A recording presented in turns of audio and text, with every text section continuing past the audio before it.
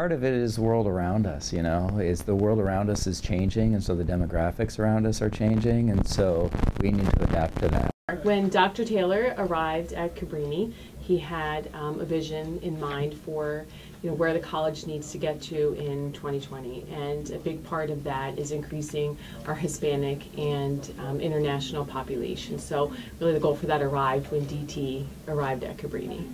So our Cabrini 2020 Roadmap to Growth plan, uh, it's actually several things. It's a strategic plan for the institution.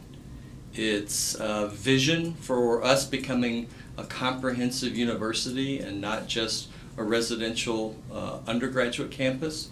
It's a business model and an enrollment management strategy. Uh, when I became president at Cabrini and I came in, I looked to see what um, kind of what the business model was. Cabrini had traditionally only had two funnels for students. So the undergrad funnel was for the residential students, and then grad was largely in just education. There were a couple of other programs, but 95% of the, of the graduate students were education and many of them were off campus um, at 13 different sites with different school districts.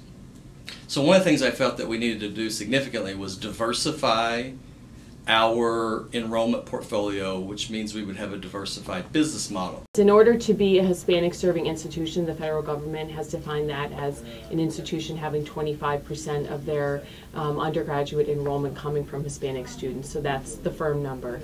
And then DT has envisioned 10% um, of our undergraduate population being international students. We're tuition driven institution, which means we're enrollment driven. And so if you only have really two portals of students coming in, then if one happens to decline, then that affects your business model. When we enroll students, we really want to kind of do everything we can to help them succeed.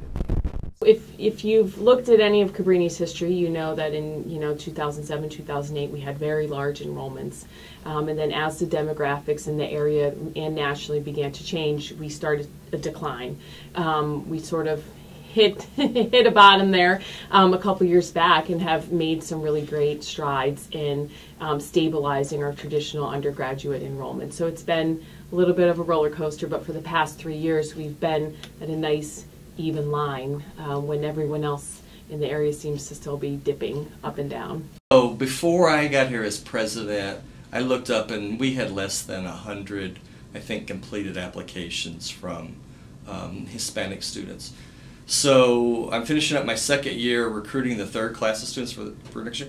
We have over 400 applications from next year, in from New Jersey all the way through the greater uh, southeast Pennsylvania, and our um, so every year we've grown by at least 100 or so, 150 um, uh, of students. So one of the things we did was we had to go out, and I had to get out in the community and really increase our community awareness, our brand. Really a, a formalized vision and, and, being charged with, you know, what are the strategies and how are we going to get from point A to point B. That's really the change is that it's become much more strategic and intentional on both of those um, those recruitment fronts for Hispanic and international the worst thing we could do is just say, hey, we're just going to keep doing things the way that we've always done it for the last 60 years, because uh, that would be ignoring the, the, fact that the world has changed a lot. And so, uh, um, so we're now looking to recruit new kinds of students that we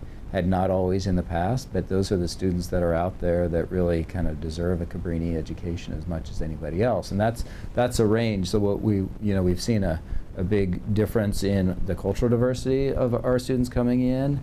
That's not only kind of a good thing for enrollment, but it's a, I would say it's a good thing for education. Like I think your education is a better education the more diverse our student body is. And looking at the, the national trends and especially the regional trends in the Philadelphia area, you know, the number of traditional um, undergraduate students, seniors graduating from high school has been a continual decline and it's not going to change anytime soon. So in order for us to be sustainable as an institution, we need to be able to diversify our recruitment streams. We need other groups of students that we can recruit to kind of fill that gap is one, uh, one reason why. And the other is who we are as an institution. Um, you know, what, how does that relate back to our mission and, our, and, and you know, our, our, our founding patron saint, um, St. Frances Xavier Cabrini? It all ties together. So um, I think that, you know, it's important that when we look at what we're doing, we look at it from both lenses.